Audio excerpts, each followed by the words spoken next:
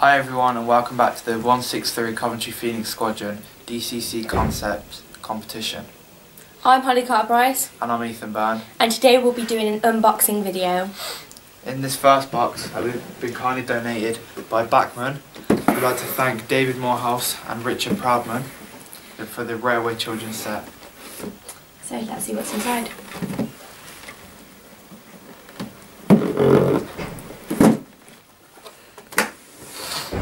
This is the inside of the box. As you can see, it is included with a railway class 5 5700 pannier tank It also includes two coaches and a Scenecraft model of Oakworth Station as seen in the classic film The Railway Children.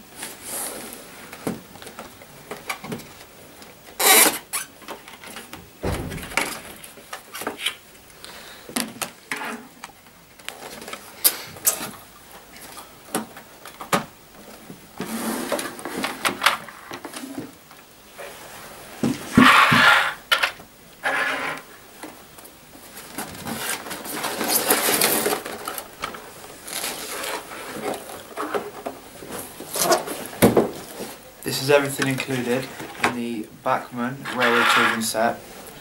Again, we would like to thank David Moorhouse and Richard Proudman, and especially Bachmann. Thank you. So the next package that we have been donated is from WWS Scenery from Martyn and we'd like to say a special thank you to Martyn for organising it. Thank you. Let's see what's inside.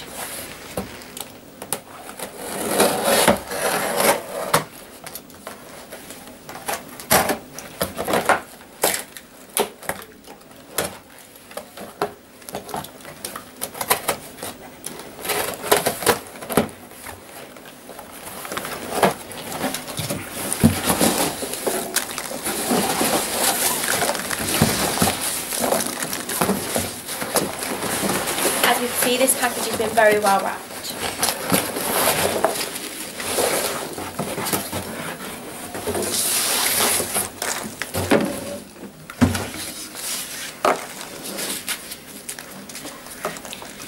So, in this package, we have been donated the static grass layering system.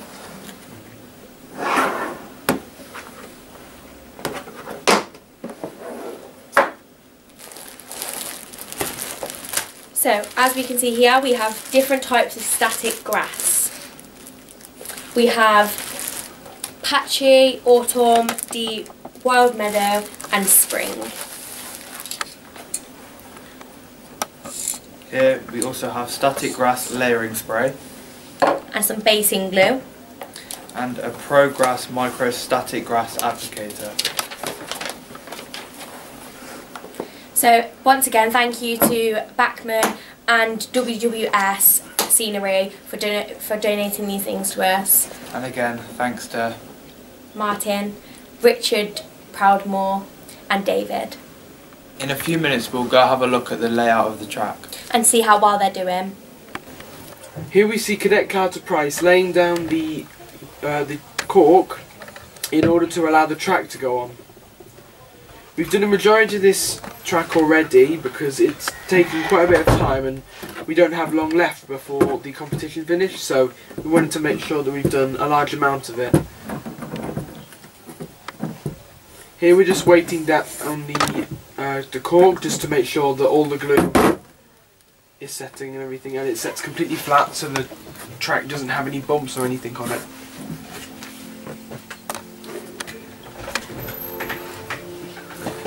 We're just going to wipe the glue around the sides to ensure that we don't have any bumps on the outside of the track either.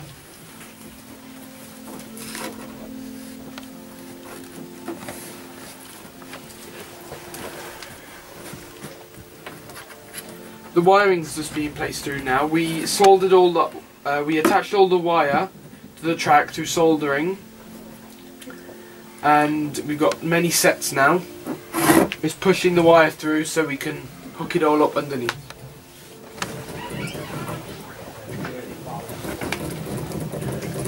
Now we're just drilling into the track to nail it all down so it lies flat and perfect with the boards.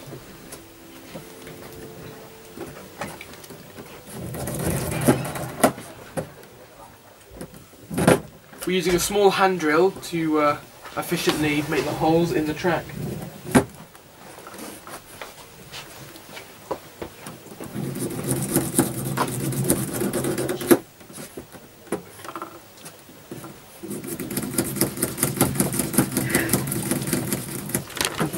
Now Cadet Carter Price is just drilling the last hole and then we'll be hammering in the nails after.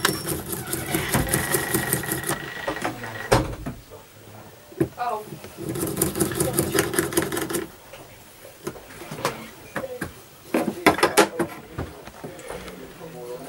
I'll be using these very tiny pins that are very delicate.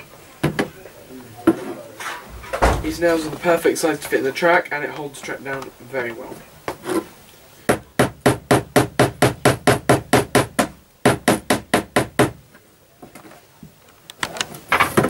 So we're just nailing in the pins to hold down the track nice and neatly.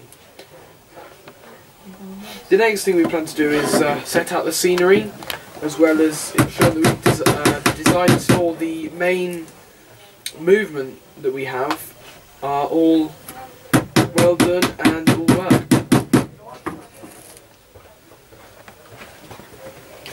I've drilled these holes very evenly along the track just to make sure that they stay in place the whole time.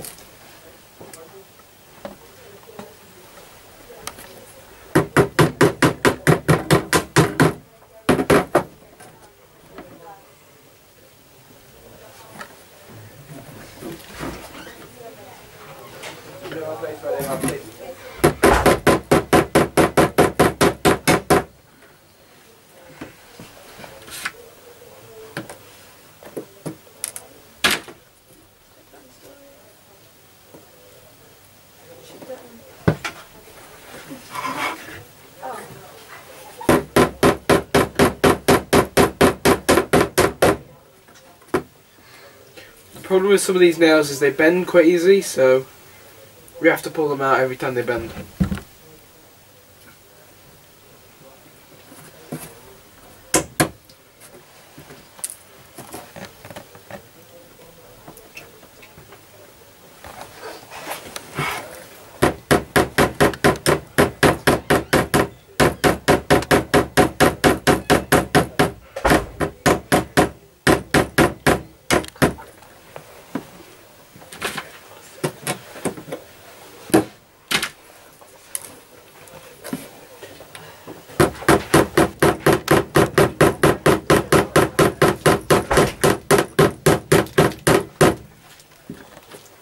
The nailing's now almost done and we're almost done with the track after this.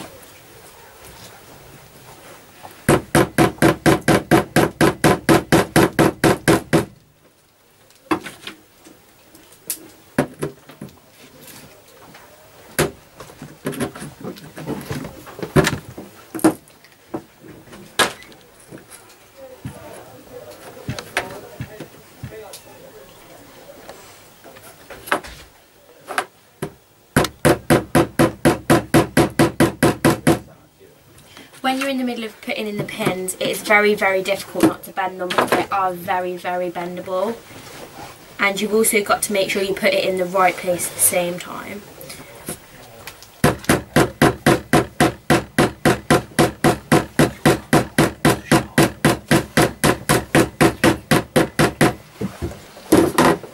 Next I'm going to attach this track to the end of this track.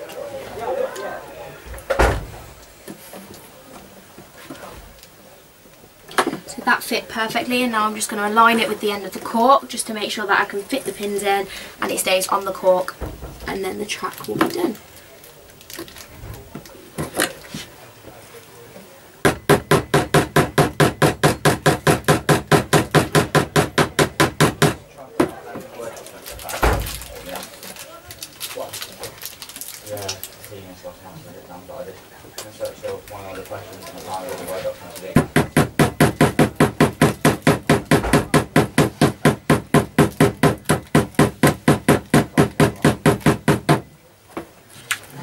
As you see, I just bent that nail because I accidentally hammered a bit too hard.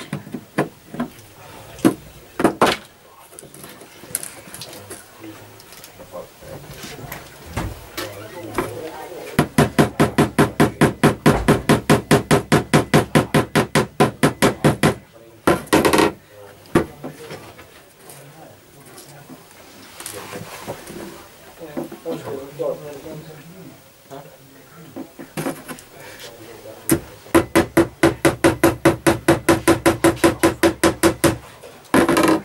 When you're in the process of hammering and popping in the pins, um, always make sure you leave one piece of track at the end of the lay at the end of the track, just that if you have to connect another piece of track to it, or just in case you have to cut off the end bit and connect, then it'll always be available for that to happen. So just make sure you always leave one or two at the end. As you can see here, I'm just on to pinning, I've just put in the last pin. So therefore this whole piece of track is now all pinned down, so it will not move. If I try and move it, it won't move. So this whole piece of track have all been pinned down, the wires have all been placed in, and then next of all I'm just going to put this bit in, pin this bit, and pop in the wires.